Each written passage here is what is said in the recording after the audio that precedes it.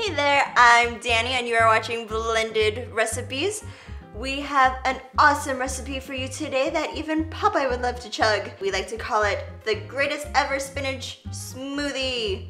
All right, what you're gonna need is four cups of spinach, one banana, two figs, two tablespoons of peanut butter, and one cup of soy milk. Now let's get everything in the blender.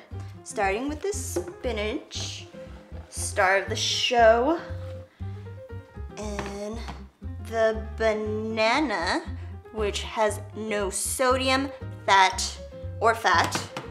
We got the two figs, and the uber yummy creamy peanut butter.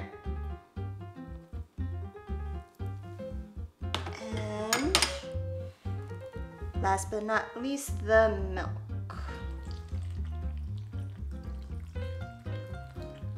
Alrighty, let's pop the top on and start blending. Alrighty, now that that's blending, I'd like to tell you a fun fact about peanut butter. Did you know that it takes 540 peanuts to make one 12 ounce jar of peanut butter? How crazy is that? This is going to be good, I can tell. Ooh, I can smell that peanut butter. That looks good. Alrighty.